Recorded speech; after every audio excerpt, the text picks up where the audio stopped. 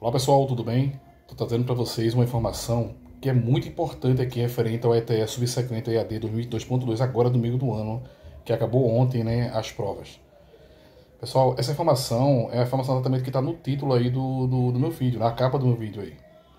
Eu avisei várias vezes para muitos de vocês, para quando estivesse fazendo a prova, ao finalizar cada prova, o aluno deveria ter salvar deveria salvar cada questão de português e cada questão de matemática uma a uma e no final é, fechar lá né, e salvar também no geral, no, no conceito geral.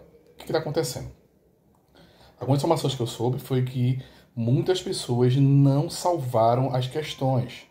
Muitas. E muitas poderão não atingir aquela média que estão esperada, né? Se, vamos lá, se estavam esperando lá 12, 15, 16, 17 pontos, pode ter, ter menos, 7, 6, 5.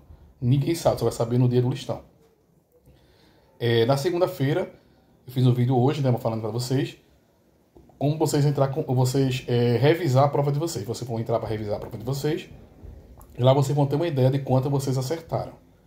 Se tiver alguma questão que, que não está vermelho nem está verde, significa dizer que você não marcou o salvar, você não salvou a questão. Então não vai ser contabilizado e nem você pode recorrer também nessa questão, porque você que errou, não foi o ETE.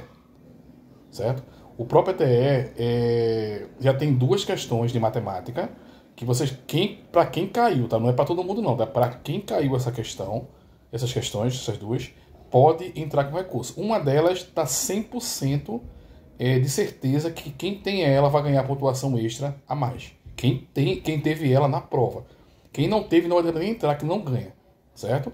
Então, essa questão eu vou estar colocando para vocês a partir de, da, da manhã em diante. Eu vou estar colocando para vocês essa questão para vocês e vou mostrar a vocês como vocês devem entrar com recurso para ganhar essa pontuação.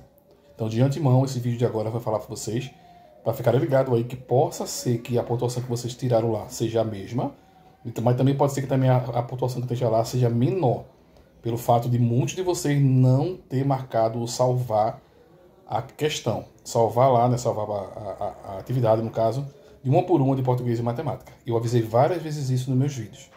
Tá? Mas vamos aguardar. Na segunda-feira tem revisão. Né? Depois vem o recurso, vocês entrarem para ganhar pontuação caso tenha alguma questão para recorrer. Certo? Português eu não, eu não vi nenhuma até agora. Mas matemática tem, certo? E a gente vai recorrer para ganhar pontuação para vocês conseguirem a vaga tão esperada. Tá bom? Vocês curtiram esse vídeo? Não, não esquece de ajudar aí com o like para ajudar. E se inscreve no canal também para ser informado de mais vídeos como esse. Espero ter ajudado vocês com essa informação. Fui. Valeu, meus feras. Boa sorte para todos.